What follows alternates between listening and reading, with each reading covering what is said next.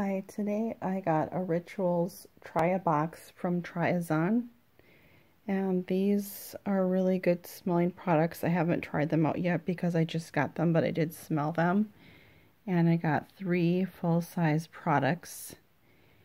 And this one is a body cream. And a body wash. It's a foaming body wash. And then um, body scrub. And I was chosen by Tryazon. Um, they chose 400 people. And this campaign is no longer open to apply for. But if you go to Tryazon's site, they do have